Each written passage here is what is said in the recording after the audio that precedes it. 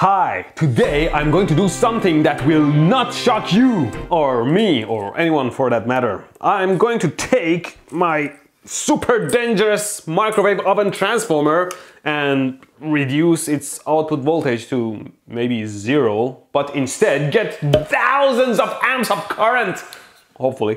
But what can give us a bit more confidence is learning the skill we need using my sponsor Skillshare where you can learn from experts. Click on the link in the description to get a 30-day free trial.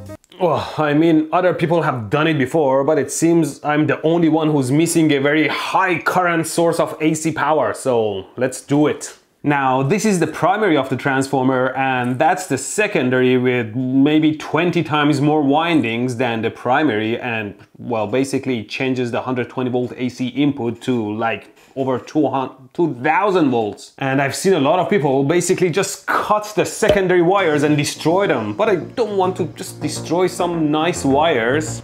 If I can cut the core itself, that would be preferable.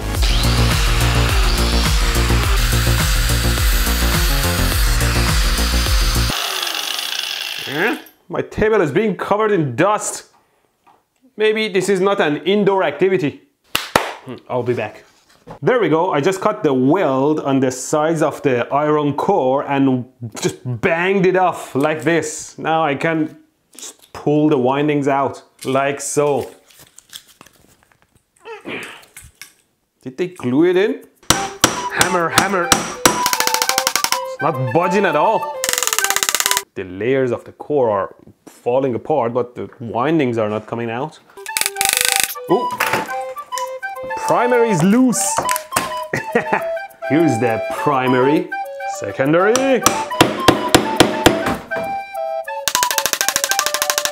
it's out. And here's the secondary. Hopefully it's out in one piece, so maybe I can put it back. Oh, my core is in shambles, but it's fine. After two hours of banging and smashing and sanding the glues away, the primary is finally in. And if you just put this on top, we're done. You know, let's just turn it on and see if there is any craziness. Oh my God, what a sound. Wow, look, the magnetic field is holding it tight. Let's disconnect this. There you go. Well, it seems beside the noise, it should be working fine. How does it work without the top on?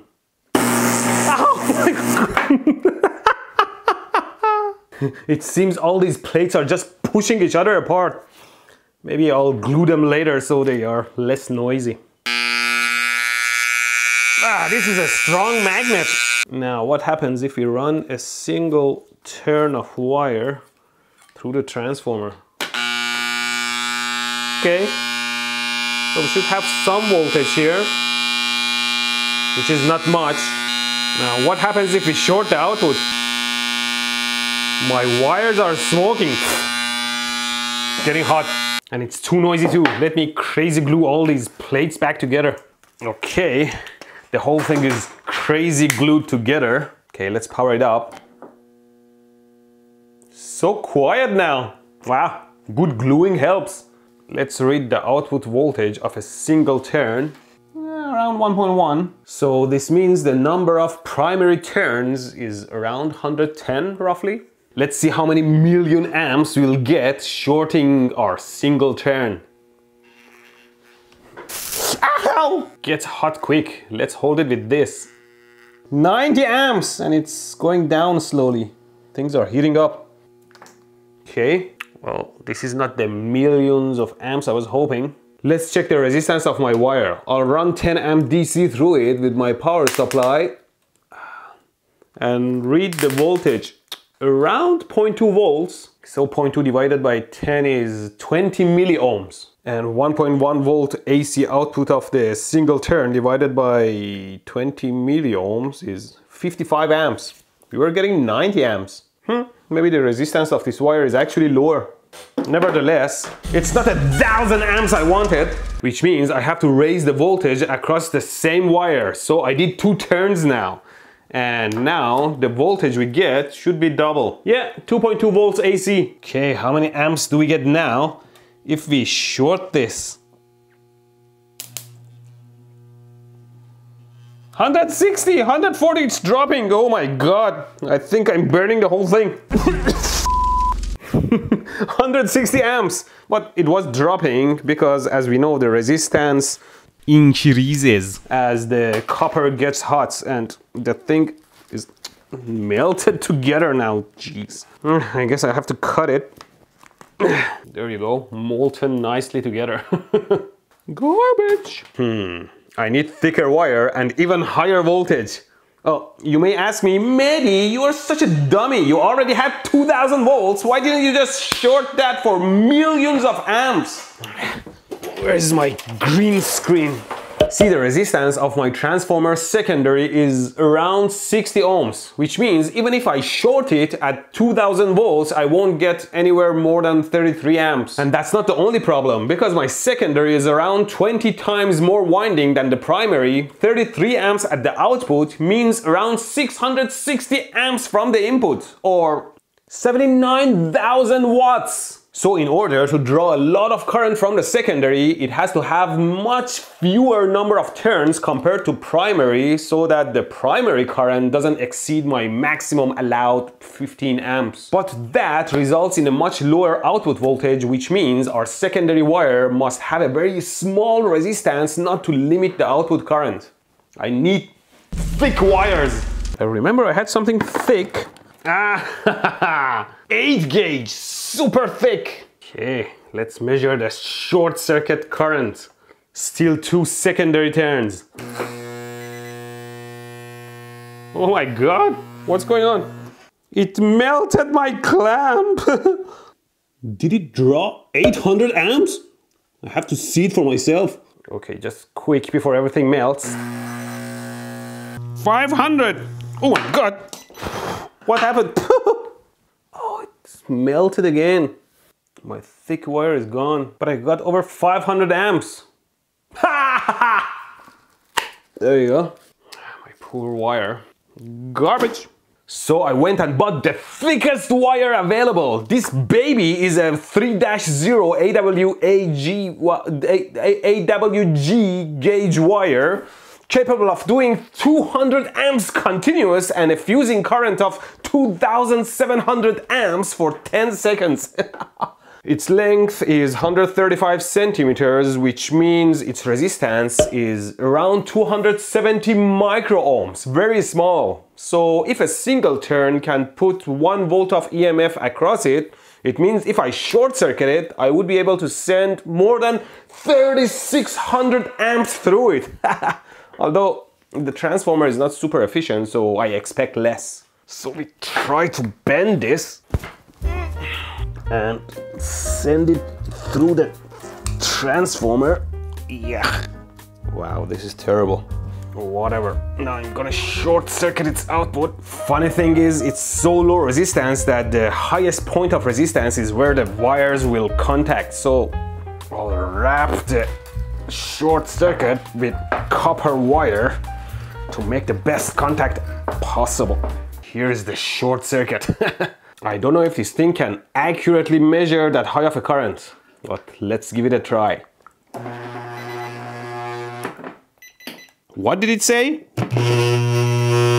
4,000? Ow. The contact is definitely getting hot. I can melt things with it. I have a spoon in my stash. Let's see. Of course, with the increase of the output resistance due to adding the spoon, I expect the current to be much less. Okay. How much is the current? I see some smoke. Who's smoking? Is it warm? Ow, jeez. Hmm, if I increase the output voltage by doubling the number of turns, I can double the current through the spoon and melt it. If only this wire was easier to bend. Ah. I think I have to break off this top again, bend the wire, put it in and glue it back on. There.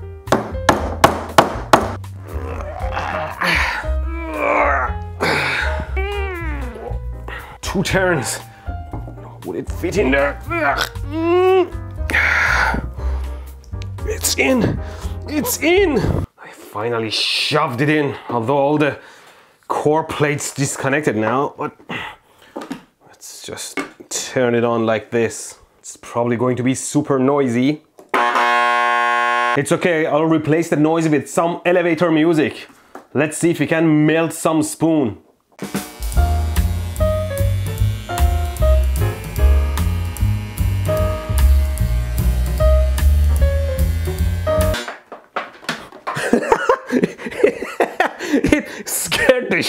Out of me. okay, the key is not to be afraid of the sparks. They're just some low voltage, high current sparks, not harmful to me. And this will show one millivolt per amp, so we can measure the current.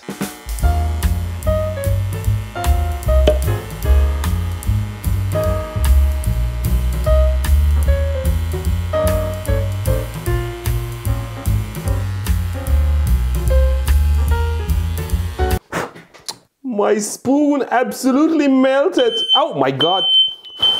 Alarm scared me. and of course, let's melt an obligatory penny. that didn't work. Look at this rubbish. I thought the penny was still made of copper. It's not. It's just copper plated. What is it? Like zinc or something? Yep. I guess it is copper plated zinc as it should be. Let's see how much current it takes to fuse a 10 gauge wire open. that didn't take long. Now I'm thinking if you have a hard time picking a lock, you can melt the out of it.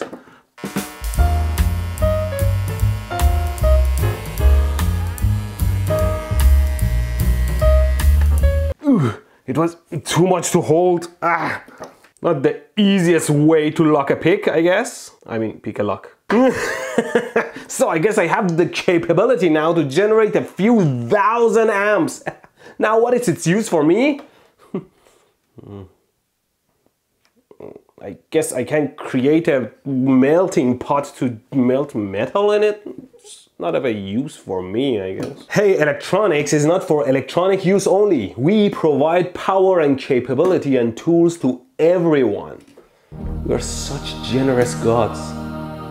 Similar to professionals at my sponsor Skillshare, a community of experts sharing their skills and knowledge around many different subjects like programming, video creation and editing, electronics, creativity and more. First thousand people to join using my link in the description can enjoy learning from these classes free with a one month trial that gives you full access to everything Skillshare. You can finish many classes in this period already that makes you want to keep going. I finished the class logo design with Draplin by Aaron Draplin a while back. He designs complex graphics so effortlessly, it's so satisfying, which ended up in me designing my own forbidden electric guitar shirt. Skillshare also has hundreds of career-focused classes you can use to reinvent your goals and yourself, which can be intimidating what, what's better than a professional giving you tips on starting small, being productive, building your own brand and more?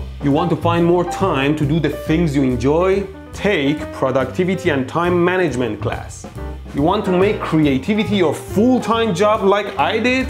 Then take Build a Creative Career class. Enjoy learning and thank you for watching.